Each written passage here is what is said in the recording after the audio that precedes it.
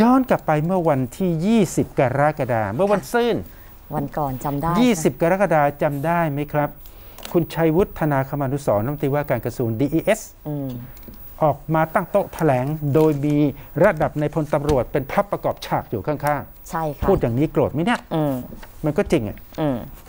ยุคนี้พูดความจริงระวัง เดี๋ยวจะเป็นเฟกซ์นิว เมื่อวานซืน20 กรกฎาคมค่ะคุณชัยวุฒิรมว.ดีอีเอสตั้งโต๊ะแถลง หน้าตาขึงขัง ประกาศเช็คบินดารา เซเลบคนดัง คนดังทั้งหลายเซอร์ที่ออกมา call out รัฐบาล ใช่ค่ะ ด้วย fake newsใช่ค่ะ แสดงความเห็นเกี่ยวกับเรื่องโควิดเนี่ยแหละ เรื่องวัคซีนเรื่องอะไรต่ออะไรระวังนะคะ จะเป็น fake news โดนเลยพรบคอมพิวเตอร์เนี่ย call ความ out ผิดแปลว่าอะไรอะฮะ ก็ออกมาตะออกมาเรียกร้องออกมาตะโกนบอกไงออกมาแสดงความคิดเห็นตัวเองไงต่อสถานการณ์ที่เกิดขึ้นเรื่องวัคซีนที่มันขาดแคลนอะไรอย่างเงี้ยถ้าถ้าถ้าถ้าถ้าถ้าหมาแก่ call out แมวสาวแปลว่า get out หรือคอมเมนต์หรือคอมเมนต์แมวสาวฮะมันแล้วหแต่มาจะแก่ ตีความ call out แมวสาว เออ จะแปลว่า แสดงความแมวคิดเห็สาน ว get out หรือ เก็ตเอาออกไปหรือไล่ออกไปเลยเหรอ หรือแสดงว่ากำลังคอมเมนต์ อยู่ที่ get ว่า out หรือคอมเมนต์เดี๋ยว get out คือไล่ออกไปเลยใช่ไหม call out มันแปลว่าอะไร เออ ช่างมันเถอะช่างมันเถอะแค่นี้ก็จะแย่แล้ว อ่าตอนนี้ก็แต่มันไม่จบนะ หลังจากทีนี้ที่ลำตรีออกมาเนี่ยโอ้โห ต้องบอกเลยสนั่นหวันไหวขึ้นกว่าเดิมอีกนะ แค่แถลง 20 กรกฎาคม ว่าทัวร์ลงแรงนะนะ ใช่ค่ะปรากฏว่าขยับมาอีกหนึ่งวัน 21 กรกฎาคมก็คือเมื่อวานทัวร์ลงคนของพรรคพลังประชารัฐค่ะชื่อสนธิยาสวัสดีค่ะ ไปยื่นหนังสือต่อพลตำรวจโทพักขพงศ์พงษ์ไพตรา ท่านผู้บัญชาการตำรวจนครบาลขอให้ตั้งคณะกรรมการสอบข้อเท็จจริง เพื่อเช็คบินดาราที่เอามาขอเอารัฐบาล ใช่แล้วให้ชื่อไปด้วยนะ มีส่งชื่อไปเบื้องต้นด้วยนะ ให้ไปช่วยตรวจสอบหน่อยสิอืมในบัดดล ถูกว่าลงแรงแล้วนะ ยิ่งแรงหนักขึ้นไปอีก อันนี้แรงกว่าคิดว่าจะสงบไงนึกว่าการประกาศอย่างนี้ออกไปนะดาราเซเลบต่างๆ ก็จะเงียบไงปิดปากเงียบไงผมไม่เข้าใจ อืมผมไม่เข้าใจ ผมไม่เข้าใจคนของพรรคพลังประชารัฐคนเนี้ยคุณสนธิยาสวัสดีในหนังสือที่ไปยื่นต่อพบชนนั้น ได้ระบุรายชื่อดาราอย่างน้อยๆนะ 13 คนด้วยกันค่ะ ไปดูกันสักนิดไหมครับ ใครบ้าง 13 เป้าหมายดารา call out ที่คนของพลังประชารัฐยื่นไปชื่ยื่นอตำรวจขอให้มีการเช็คบินเนี่ยนะคบเขาเรียกว่าชี้เป้าไงเดี๋ยวกลัวตำรวจไม่รู้ว่าใครบ้างไงอะชื่อที่หนึ่งอืมชื่อที่หนึ่งมาเลยนะคะ คุณตั๊กสิริพรอยู่ยอดนักร้องตั๊กพิสิธีริกพรรอยู่ยอด คุณตั๊กค่ะ คุณตั๊กตั๊กสิริพรอยู่โดยนอดคู่กันเลยค่ะ คุณนุ้ยเชิญยิ้มด้วยค่ะ ชูเกียรติเอี่ยมสุขค่ะ ปรากฏว่าครอบครัวตลกครอบครัวนี้ โดนทั้งสามีภรรยาค่ะ โดนเช็คบินยกบ้านเลยนะอืมเอ่อพันยาตั๊กสิริพรก็โดน นุ้ยเชิญยิ้มโดนคู่สามีก็โดนโดนคู่เขาเรียกว่าแพ็คคู่ว่าค่ะกันที่จริง ถ้าผมไม่เกรงใจคุณแมวสาวนะทำไมคะคุณ ถ้าผมไม่เกรงใจคุณแมวสาวนะทำไมผมจะเอาคลิปของนุ้ยเชิญยิ้มมาเปิดออกอากาศอ๋อเห็นฟังหลายรอบเนี่ยคนที่สามครับ คนที่สามคิงก่อนบ่ายนภัสชุ่มจิตตรี นี่ก็เป็นตลกเช่นกันนะใช่ค่ะ เป็นตลกนะคะ คิงก่อนบ่ายอะคนที่สี่ เอกชัยศรีวิชัยนักร้องอะพี่เอกพี่เอกพี่เอกพี่เอกนักเอร้อกงชัยเอกชัยศรีวิชัยได้ฟังคลิปของพี่เอกชัยไหมครับ ไม่ธรรมดาค่ะ พี่เอกเขาชัดตรเจงนเขาชัดเจน แรงเขาชัดเจน ชัด ชัดมากเขาเรียกว่าตั้งชัดเจคำถานมเยอะอะไปกันที่คนที่ห้าโอ้ยซุปตาเบอร์หนึ่งของเมืองไทยคนหนึ่งเลยนะคะ ยาย่าอุรัสยาสเปอร์บันด์ ผมนี่แน่นิ่ง เพราะทันทีที่ผมเห็นเห็นชื่อรายชื่อยาย่าใช่ไหมยาย่าเบอร์หนึ่งตกลงเนี่ยจะเช็คบินแม้กระทั่งยาย่ายาย่าเธอก็ขอเอาแบบน่ารักน่ารักนะอืมแต่เป็นผู้มีอิทธิพลต่อคนไงคนติดตามเขาเยอะนะไอจีเขาคนตามเยอะไงมันมีผลนะคุณทนายเห็นชื่อเอกชัยไม่แปลกใจ เห็นชื่อนุ้ยไม่แปลกใจ เห็นชื่อตั๊กเห็นชื่อคิงเฉยอืมๆเราเห็นบทบาทการออกมาขอเอาแรงตรงอืมอืมแต่พอเห็นชื่อยาย่า พยายามจะนึกทวนนะว่าเอ่อเอ่อน้องยาย่าออกมา call out แบบไหนก็น่ารักน่ารักนะ ใช่แต่ค่ะอยู่ในลิสต์ของการเช็คบินด้วย ใช่แล้ว ไม่เข้าใจเอ่อเข้าใจหาทัวร์มาลงรัฐบาลนะ ค่ะอะ ชื่อที่ 6 ชื่อที่ 6 นะคะ พี่หมากประเด็นสุภรัตน์นี่โดนคู่กับคิมด้วยนะคะ เดี๋ยวจะมีชื่อคิมด้วยอ๋อเรียกพี่เลยนะเออพี่หมากค่ะ แล้วก็ไปใครหล่อนี่เรียกพี่หมดเลยนะเรียกเราเรียกพี่หมดค่ะหมากปรินสุภารัตน์นะคะ โดนคู่ด้วยเหมือนกันนะคะคิมเบอรรี่ก็โดนด้วยค่ะอืมครับครับ เอาละครับ คนต่อมา ไปดูคนที่ 7 ครับ คุณมดดำคชาภาตันเจริญโอ้โหอันนี้ก็ออกมาสวนแรงทันควันทันทีเลย คนที่ 8 ครับ คนที่ 8 ค่ะ พี่ปุ้ยพี่บนวันหุ่นทองคำค่ะอืมคนที่ 9 ครับ คุณเพชรการุณพลเทียนสุวรรณค่ะ คนที่ 10 ครับ คุณแม็กซ์ค่ะนัทวุฒิเจนมานะค่ะ คนที่ 11 นี่ก็เลยค่ะ มากับพี่หมากด้วยเลยนะคะคิมเบอร์ลี่แอนโวลเทมัสเทียมศิริ สรุปนะ สรุปนะเช็คบินแม้กระทั่งยาย่าคิมเบอร์ลี่อืมหมาก็โดนเช็คบินค่ะเหลือณเดชน์ให้ครบสิครับ พี่แบร์รี่เช็คไม่โดน เช็คบินนเดชน์อีกคนสิคณรับเดชน์เงียบณเดชน์เงียบแบร์รี่เงียบอืมอะสิบสอง12นะคะ มิลลินะคะดนุภาคณาธีรกุลนะคะ เป็นนักร้องอมครับสิบสามคุณปอยตีชดาเพชรรัตน์อื มมีอีกไหมเนี่ยมีอีกไหมเนี่ยมีอีกไหมมีอีกไหมหรือมีเท่านี้ แค่ไม่ได้แค่นี้อืมในเอกสารของคุณสนธิยาสวัสดีคนของพลังประชารัฐที่ไปยื่นหนังสือต่อ ท่านพบชนแค่เอามาได้แค่ 13 รายชื่อเออประมาณนี้ประมาณนี้อืมประมาณนี้นะค่ะแต่คราวนี้ครับ ปฏิบัติการเอ่อปปฏิบัติการขู่ จบไหม สิ่งที่ได้รับและตอบกลับ จากหมายเลขที่ท่านเรียกก็คือดาหน้ากันออกมาท้าให้จับอืมดาราคอเอาทั้งหลายดาหน้าออกมาท้าให้จับเลย เหมือนท้าเลยนะ ไม่ได้เงียบไม่ใช่แบบอ้าวตายแล้วชื่อฉันโดนด้วยฉันเงียบดีกว่าจำศีลดีกว่าไม่เลด้วยยความเคารพอยากจะกราบเรียนผู้หลักอืมผู้ใหญ่ในบ้านในเมืองสักนิดหนึ่งในการมองปรากฏการณ์ตรงนี้ มองให้มองให้ทะลุมิติในทางรัฐศาสตร์ มันจะบอกอะไรบางอย่างเหมือนกันมันนะบอกอะไรบางประการ โดยธรรมชาติของคนกลุ่มนี้นั้นจะเป็นกลุ่มที่รักนวลสงวนตัว เซฟอะเพย์เซฟอะเซฟตัวเองอะไม่อยากกระทบกับงานอะพูดตรงเดี๋ยวงานถูกไม่เลิกยุ่งจ้ากับงการเมือง ไม่ยุ่ง พร้อมที่จะรับงานจากทุกขั้วทุกค่าย ใช่ โดยเฉพาะอย่างยิ่งผู้มีอำนาจเอ่อ งบ PR งบอีเวนต์ของราชการไม่มีนก็เยอะมันก็เยอะที่ผ่านมามันก็เยอะหรือจะดังขอนั้นความร่วมมือ ดังนั้นดังนั้นเขามีเขาก็จ่ายกันอืมเออทีนี้ปัญหาก็คือว่าเขาก็ไม่อยากจะมีเรื่องอะเอางี้ดีกว่าเขาไม่ไหวจะทนหรือเปล่าคุณทนายแต่แต่แต่แต่คือคืองี้คือคือคือ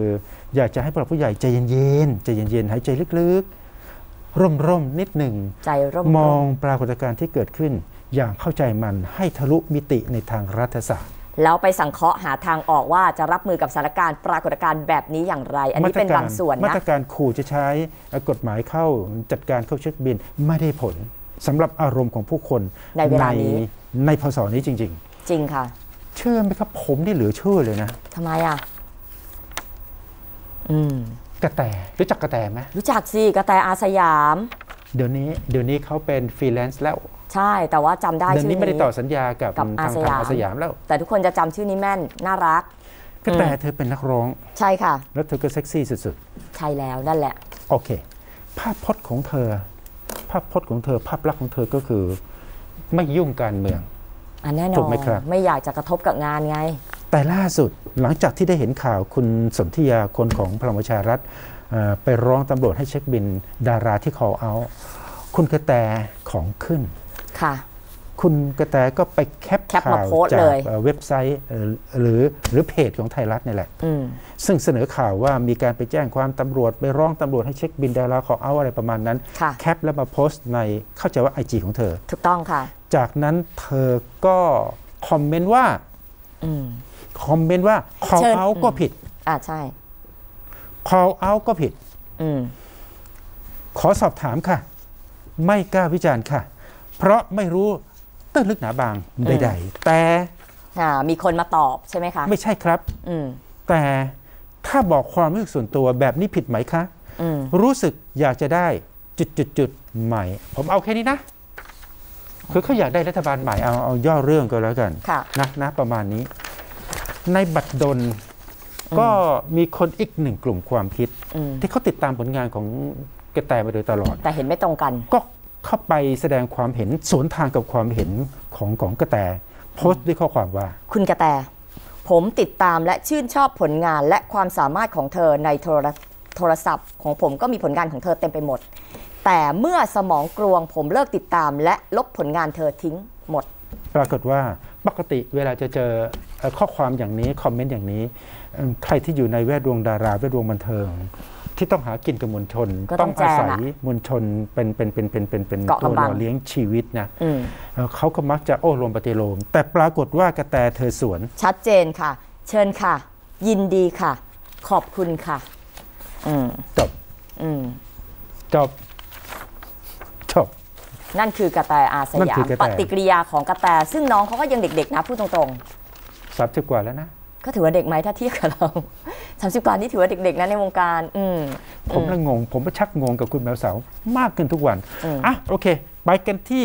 ไมดาวิกาโอ้โหนี่ไมดาวิกา เธอก็โพสต์ในเชิงสัญลักษณ์ค่ะเธอเธอเอาเธอเธอเธอโพสต์ผ้าดำผมเรียกมันเป็นการโพสต์ผ้าดำก็แล้วกัน ก็เป็นเพจสีดำไม่มีอะไรอะเธโพสต์อืมผ้าดำเลย แล้วเธอค่ะก็มีข้อความค่ะมีว่าข้อความว่า ประชาชนจะต้องอดทนอีกนานแค่ไหน แล้วก็มีเครื่องหมายคำถาม โอเค เอากันแค่นี้แค่ก็นี้แล้วแหละกันไปหาอ่านกันเอาเอง อืม ไปหาอ่านเอาเอง เรานำเสนอแค่นี้ก็จะแย่แล้วครับเอออะจากใหม่คราวนี้ไปที่มดดำใช่ไหมมดด อะไปที่มดประชาภาดำอะไปที่มดำมดดำดำก็อยู่ในริดรายชื่อด้วยนะคะ ก็เลยออกมาทันควันเลยนะคะ คุณมดดครับเอ่อ บรรทัดแรกนะมดดำก็โพสต์ว่า แล้วจะให้พวกเราพูดว่ายังไงดีำเออก็คือก็คือเรื่องของเรื่องก็ก็ก็ไปแคปข่าวท่านน้ำตรี DES แถลงข่าวขู่จะเช็คบินดาราที่เอามา call out อืมเอ่อเอ่อเอ่อมดดำก็ก็ก็ก็ก็แคปเอาข่าวนั้นมาโพสต์ในไอจีของมดดำแล้วก็ขึ้นข้อตั้งความคำถาข้างมบนว่า แล้วจะให้พวกเราพูดว่าอย่างไรดีอืมนะอืมไม่พอไม่พอมีต่อหลังจากที่ อีกวันหนึ่งอีกวันหนึ่งอืมหลังจากที่มดดำได้เห็นข่าวสนสนธิยาสวัสดีคนของพลังประชารัฐไปร้องตำรวจให้เช็คบินดาราคอเอา รายชื่อเบื้องต้น 13 รายชื่อ ค่ะมมดดดำดำก็มีภาคต่อเลย มีภาคต่อทันที ไม่รู้จะเรียกไปสอบอะไรกันอีก ทุกวันนี้เราลำบากกันมากแล้วลำบากจริง ๆ สอบใครไม่รู้ แต่ที่แน่นอนมีมดดำเพราะว่ามีชื่อมดดำอยู่ด้วยอะโอเค ปิดท้ายอารมณ์ของของของของของมดดำก็มาสุดกันที่ตรงนี้ แต่สุดจริงหรือเปล่าผมไม่แน่ใจ จะออกมาอีกหรือไม่ไม่แน่ใจก็รอดูวันนี้เาเป็แล้วกันสุดสำหรับเมื่อวานกันแล้วกัน ใช่ค่ะเอ่ออารมณ์สุดสำหรับเมื่อวานของมดดำก็คือขอบคุณพี่น้องทุกคนที่รักและห่วงใยไม่ทิ้งกัน ก็คงมีคนไปเม้นให้กำลังใจกันเยอะแยะนั่นแหละสำหรับคุณมดดอะโอเค ประมาณนี้ก็แล้วกันำนี่บางส่วนนะ แต่จนี่ริงบางๆถ้าไปส่วนดูนะโอ้โหนี่บางส่วนต้องบอกว่าถล่มทลายมากกว่านี้นะ อีกหนึ่งคนครับอืม เพชรกรุณพลเพชรอ่ากรุณพลนี่เป็นลูกชายอดีตนางสาวไทยนะ ใช่อค่ะดีคุตณแม่เป็นนางงามค่ะนางสาวไทนางยสาวไทยยุคใช่พค่ะศอะไรผมจำไม่ได้แล้ว นานแล้วประค่ะพัฒสอนประพัฒสอนใช่ค่ะนานมากประค่ะพัฒสอนพานิชกุลไงค่ะอดีตนางสาวไทย ถูกต้องอืมคุณเพชรกรุณพลก็ออกมาโพสต์สวนเช่นกันว่า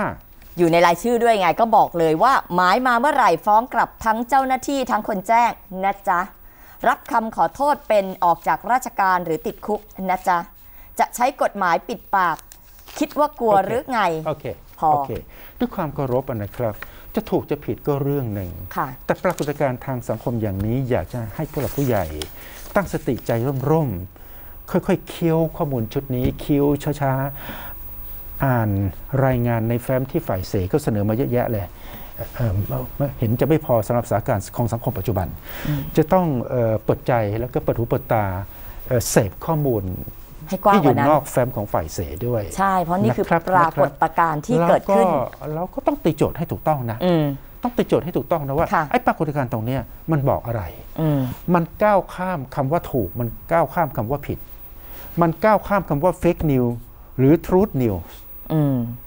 ถูกไหม ใช่ค่ะ แต่นี่ก็คืออารมณ์ของคนไทย อารมณ์ของสังคมอืมจะรับมือกับมันอย่างไร จะเข้าใจกับมันอย่างไร สุดท้ายจะวางอนาคตทางการเมืองเอ่อของตัวเองอย่างไร มันก็เป็นเรื่องของการตีโจทย์ จากปรากฏการณ์ที่กำลังเกิดขึ้นอยู่ณขณะนี้ ใช่นะครับฝากขอถึงปิดท้ายเบรกนี้ด้วยเรื่องของสรยุทธสุทัศนจินดาพี่ยุทธอืมอืมคือคือคือน้องคนนี้ ผมผมผมชมนะ คือคือคือสรยุทธ์เนี่ยเขามีคุณอุปการกับสังคมอย่างหนึ่งก็คือ เขาสามารถโน้มน้าวให้ชาวบ้านบ้านๆเลยอืมหันกลับมาเสพสินค้าประเภทข่าว แต่ก่อนไม่มีคนดูทางหนะน้าจอทีวี สมัยก่อนนี่ข่าวไม่ได้ถูต้อกงพูดให้ถึงเครเลดิยตสรยุทธ์อืมขณะเดียวกันวันนี้เริ่มได้เห็นเอ่อเอ่อจุดยืนที่ค่อนข้างมั่นคงชัดเจนแล้วก็กล้าของสรยุทธ์นะ ใช่ชัดขึ้นชัดขึ้นในในเพจของสรยุทธ์เนี่ย มีคนก็เข้ามาคอมเมนต์สรยุทธ์แรงอย่างเช่น เคยคิดจะเสนอข่าวให้กำลังใจประชาชนบ้างไหม หรือจะมีแต่เสนอข่าวซ้ำเติมให้มันหดหูเพิ่มขึ้นทุกนาทีทุกชั่วโมงอืมรู้ใช่ไหมครับว่าทุกรายการในทีนี้ไม่ว่าจะเป็นรายการสรยุทธ์รายการเจาะลึกทั่วไทยช่อง 9 หรือหลาย ๆ รายการเขานำเสนอปัญหาที่มันกำลังเกิดขึ้น เขากำลังนำเสนอสะท้อน เลือดปัญและหาน้ำตาของประชาชนที่ค่ะมันจะท่วมแผ่นดินอยู่ณขณะนี้ ใช่ เหมือนถูสะกท้อนไหครับสะท้อนปัญหาให้ภาครัฐได้รับเพื่อรู้นำไปสู่การแก้ไขประมาณใช่นั้นเมื่อคอมเมนต์แรงๆเข้ามาอย่างนี้ ซ้ำเติมให้มันหดหูเพิ่มขึ้นทุกนาทีทุกชั่วโมงนี่นะอืม ปรากฏว่าให้กำลังใจประชาชนบ้างไหมอะอืมให้กำลังใจประชาชนหรือให้กำลังใจเจ้าที่ของรัฐก็ไม่ทราบนะใช่หรือบางทีก็บอนะครักบเปลี่ยนให้มันนำเสนอข่าวเชิงสร้างสรรค์อะไรแบบนี้ก็มีคอมเมนต์เยอะแยะนะเพื่อให้กำลังใจภาครัฐหรือให้กำลังใจประชาชนเออนั่นสิอะไม่เป็นไรไม่เป็นไรอืมตอบแทนไม่สได้รซะยุทธ์ด้วยสรยุทธ์ก็ก็โพสต์ตอบนะใช่ตอบดีตอบชัเจดีนตอบว่าว่าใครซ้ำเติมครับ การไม่สนใจใยดีกับความสูญเสียต่างหากที่ผมรู้สึกว่าเป็นการเหยียบย่ำซ้ำเติมเหมือนกำลัง เหมือนกำลังเห็นชีวิตคนไม่มีความหมาย นั่นสิทำไมนำเสนอเอ่อข่าวความสูญเสียของผู้คนเพื่อนำไปสู่การแก้ไขอืมถ้าไม่นำเสนอปัญหาเพื่อนำไปสู่การแก้ไข แล้วจะให้นำเสนอข่าวอะไรนั่นสิวัคซีนไม่มีปัญหาอืมข่าวสร้างสรรค์ข่าวเชิงบวกอย่างเดียว ล็อกดาวน์ยิ่งไม่มีปัญหาอืมประชาชนอิ่มหมีพีมัน